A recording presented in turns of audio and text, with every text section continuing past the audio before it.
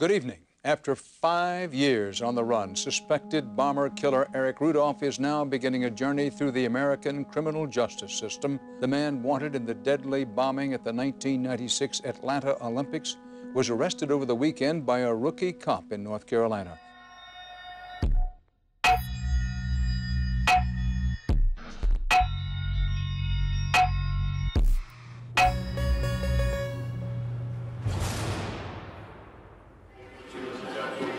Okay, if you're ready, we'll go ahead and get started. How you doing? How are you? Uh, I was on a patrol in the east part of town. Came around the corner, uh, turned my headlights off. It's how you usually proceed around the building.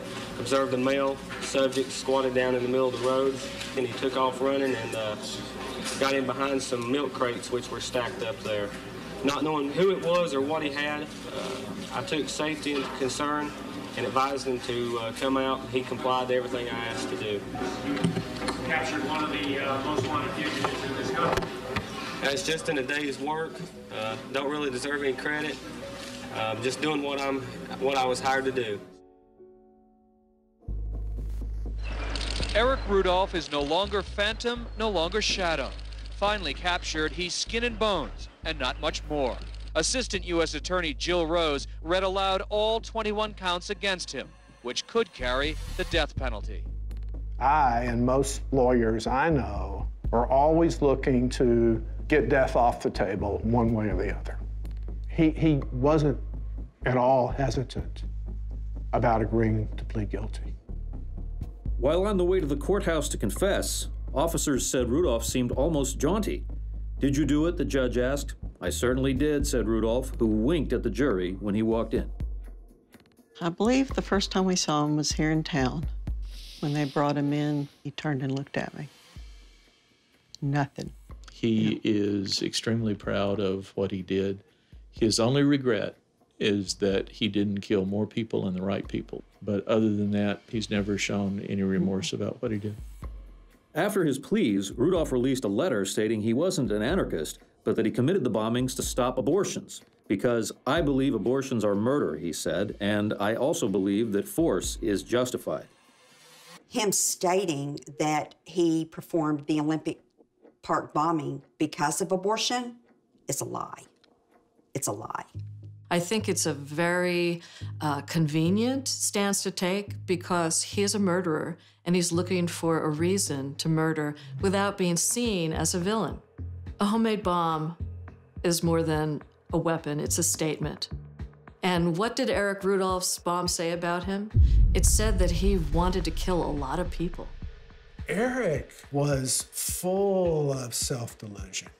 And he still thinks, at least when I last spoke to him, that he was correct. Eric Rudolph has admitted that he is guilty of all four bombings in Atlanta and Birmingham. There can be no doubt anymore about who is responsible for these crimes. You finally heard, without any doubt, Eric Rudolph guilty of the Olympic Park bombing. That was when Richard, I think, first felt that he had been vindicated.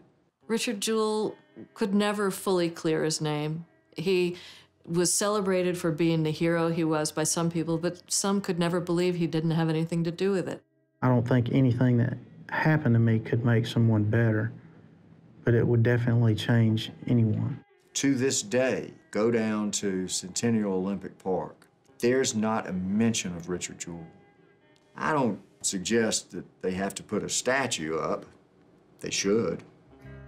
Richard Jewell died of heart failure just a few years after he was exonerated completely by Eric Rudolph's confession.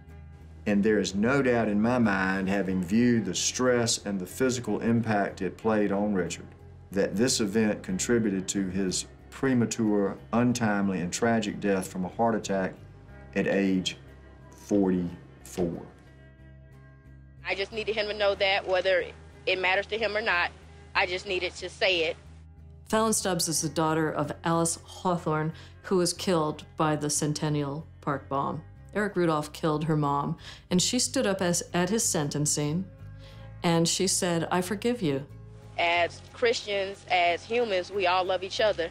And through him, I've learned more tolerance for people who are different from me. Rudolph sat impassively, didn't even look up.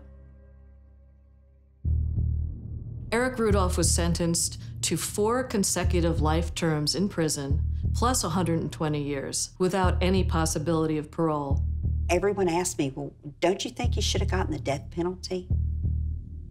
I think this is what he's going through now is the worst punishment that you could give him. Loving the outdoors the way that he does, and him being confined in a concrete room with a concrete bed and a concrete stool, a little sliver of a window. And I think this is the very just punishment that he needs.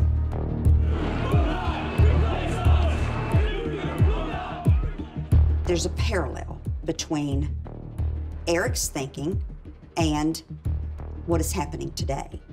Just a different, a different avenue. I think there are a lot of Eric Rudolphs out there right now. What makes them killers when there are so many people who believe what they do believe, but never act on it? Here's the key about what they do that will identify them almost every time. They cannot be a member of a group, but they never lose the desire for it. The big change in the last 20 years has been social media. It can provide a source of identity for these people without actually having to deal with the groups that they're not able to become a part of. How do we stop the lone offenders? You can only, on an individual basis, look at behavior and look at the outliers, notice the outliers, and report them when you can.